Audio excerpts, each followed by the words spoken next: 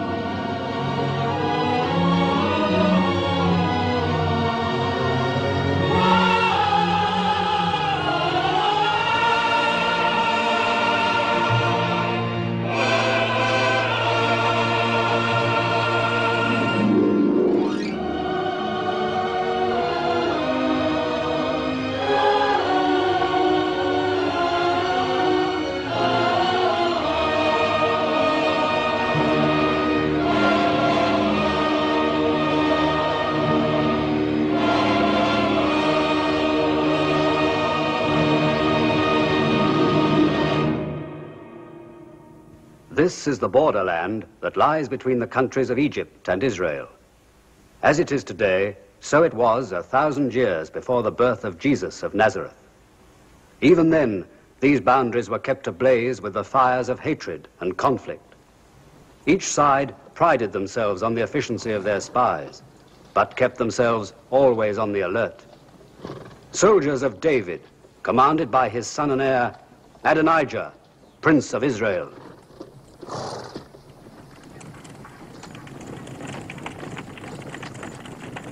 A chariot moving along the road. Stop the fool, whoever he is.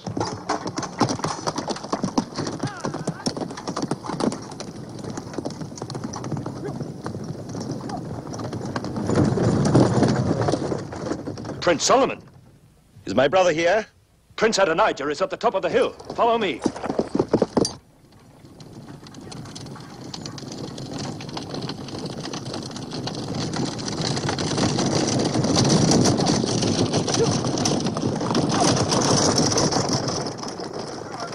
What are you doing here? On our way to Jerusalem, we got word that the Egyptians were on the prowl again. I thought you might need some help.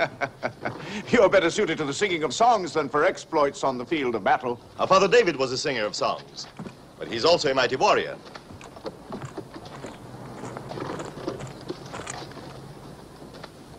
Where are the Egyptians?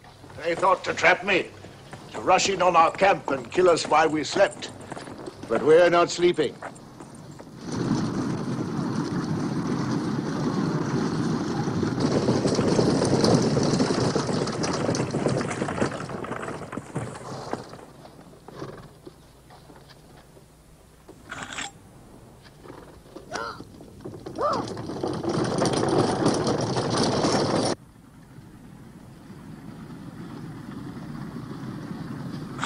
Give me your orders. This is not your kind of game, brother. I never thought of it as a game. I fight by your side. Then the sword of victory, Solomon. And the shield of God, Adonijah. Spread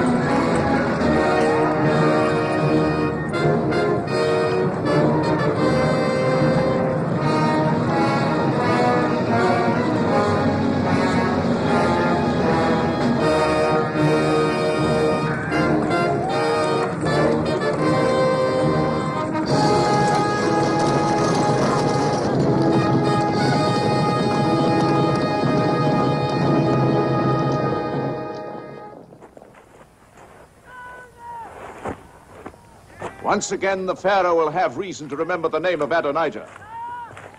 Let him write it in the blood of his dead. Too long this soil has been bathed in blood. You lost your taste for blood now that the heat of battle is over? After seeing the glory of victory, the greater glory of peace makes itself known. Peace is for women and children. Now let me cleanse my mouth of the stench of the Egyptians. To a new victory, won by the Prince of Israel. To the warrior Prince Adonijah. To Adonijah. To your glory, brother. May it ever increase the glory of Israel. There'd be much greater glory if these hands of mine were not shackled by command of my father.